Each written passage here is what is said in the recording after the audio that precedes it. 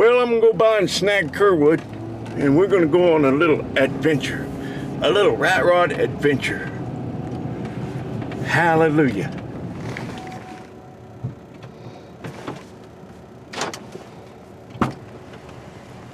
Welcome, Mr. Kerwood. Well, well, thank you, sir. I, I would make a comment, but with the camera on, I think I'm going to pass. Oh, well, oh, I was just gonna say we're about to go on an, an, An adventure. adventure, you betcha. A little rat rod adventure. Little rat rod adventure. A Little Christmas Little cheer. Christmas cheer, yes. There you go. All right. Yes. I'll turn the camera off so you can comment. All right, it sounds like a winner.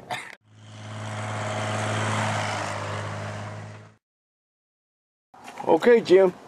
Yep. We're at the location We're at the for the great adventure. Let's go look. All right. Man, there's a travel trailer with sliding glass doors. That's pretty fancy. See that? Yeah, that's where Greg's dad used to live. Yeah. Well, it's his little house over here, ain't it? Yeah. I was down there used to put trim in that house. there's an old Ford. There's a Ford. I see the Ford. Where? Side of the trusses. Oh, he's moved it. It was out here. No, huh? It's always been there. God, I thought it was out in the field. Uh-uh. The old Ford was. Well, I thought it was out in the open the last time I looked at it. Well, it don't matter. It's here. Now that's a tree house, by golly. It is.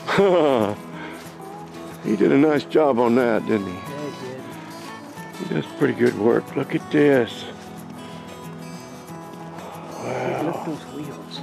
I know. I'm looking at that cab. Isn't that something? Yeah. See if we can get the door open. You want to open the door? Yeah, we'll look at the dash and everything. What year, Jim? 38. 38 GMC. Oh, nice. Hmm. Well,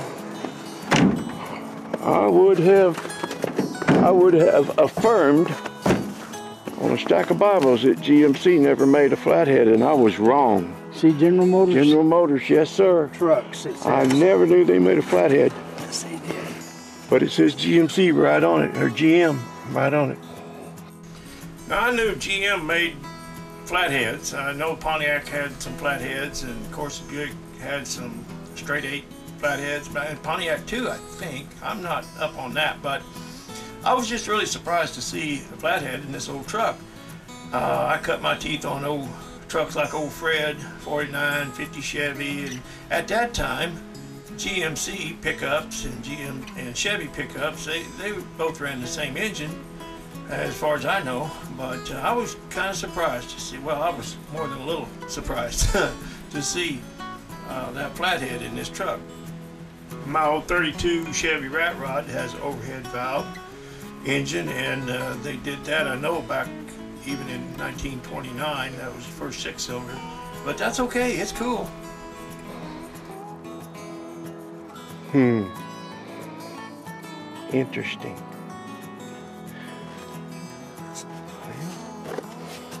Oh, she's a big old boy. Did you hear what I said? She's a big old boy. This must be one of those transgender trucks. 1946, it says on the license plate. Last time she was driven. Well, I don't know. I don't know what it says on the back plate or if it has one. Look at that grill. Hmm. Pretty nice. Look at the headlights. Yeah. You got the side. Look at the rust. Ooh, there's a door that's yeah. Look at the rust. I love those wheels This is, though. this is what you call heavy patina. Well, looks like somebody's trying to break Well, an inner into well, they, they kind of part part of the exhaust is missing here. it. It's probably a little loud when it runs. yeah. Huh. Well, it is a. I wonder if the radio flyer comes with it. I don't know. it's a garage. It's a parking garage for lawnmowers. I see. Yes. We've got a Well, couple look back here. underneath there. Yeah, got a couple of them there, and it's loaded.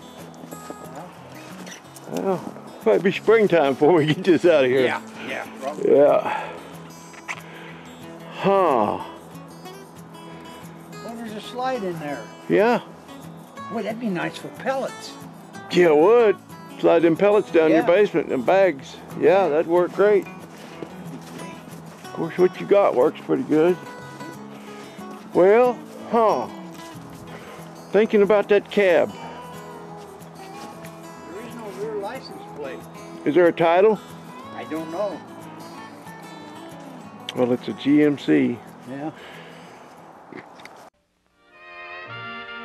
Mind if I cut in to tell you about myself? I am a car radio, and rather unusual one, if I do say so. You see, I'm a transportable car radio, and I reside in a new 1958 Oldsmobile. Pretty luxurious surroundings, eh?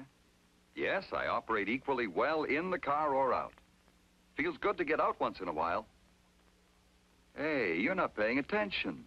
If you want to let your eye move to a thing of beauty, just take in my house in that new Oldsmobile Super 88. Come on up and get a close look. I'll give you appropriate music.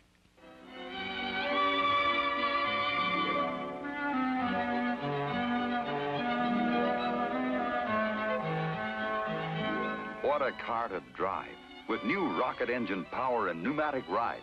Say, before we go, how about a date for a rocket ride?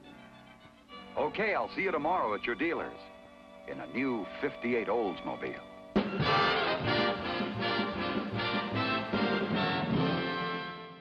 1938 GMC two-ton. Would have been a two-ton. Yeah, I think so. Yeah, and it has a safari windshield. Cranks out. Jim's trying to open the other door. Yeah, Don't want to open. I love the back glass, the back window. yeah, isn't that neat? Yeah, that's cool looking. And I like the grill. Yeah. Huh? Never seen a grill like that. There's a carburetor. Yes, sir. Look at that big ram horn. Yeah. Interesting. That's a interesting engine. Yeah. See, I think that's what came out in the old Pontiacs and stuff. Well, I know Pontiac had flatheads, yeah. Yeah. So probably the same General Motors. same motor, I bet, isn't it? Yeah. I Yeah. wouldn't be a bit surprised. In Yeah. fact, that 38 that Greg's got in his shop, that car, I'll bet that's the same motor. Yeah. I would have just never expected it to have a flathead. Yeah. When you popped the hood on that the first time I saw it, I couldn't believe it. Me. I uh, I thought it would be like a motor like my 32, or up to C37 is when they came out with the with the uh, 216. 16. So prior to that, it would have had a motor like my little Yeah. Rockabilly Rat. One 194. 194. Well, then they punched it out. They made a 207. Yeah. They punched it out and did a few things before the 216. Yeah. See, by 1932, it had a balanced crank, which is what mine is, and it had they got it up to 50 horsepower.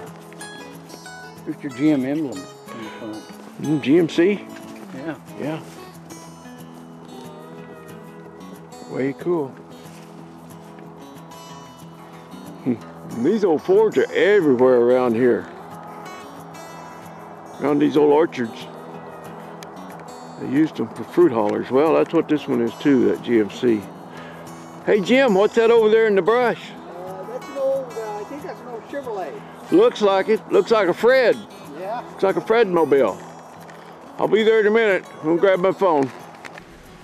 Well, stay tuned because you'll be seeing more of this old truck in the future videos. Howdy, folks. Your pal Waylon Wire here. Uh, I need to address an issue this evening because if I don't, I'm going to start getting emails and comments and inquiries.